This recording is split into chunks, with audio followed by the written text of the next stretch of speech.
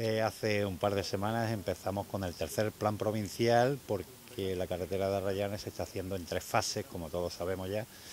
Este año ya concluimos, terminamos en Miguel de Unamuno y se va a conseguir, lógicamente, que esa calle, por la cantidad de tráfico que soporta y que soportó durante las obras de Pozo Ancho, con la obra que realizó la Junta de Andalucía, ha soportado muchísimo tráfico en estos últimos años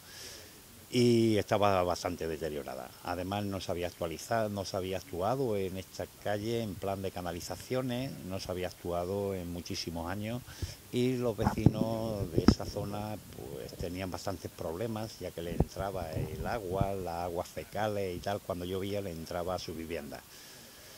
Hemos desarrollado ya dos fases y con esta tercera concluimos y como todo el mundo sabe se está haciendo con el plan de obras de Diputación en la que el 79% lo aporta Diputación y el 21% lo aporta el Ayuntamiento.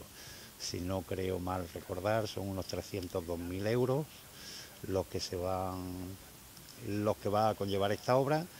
y de ellos parte también va a la estación de Linares Baeza porque está incluida dentro del plan provincial de obras de Linares.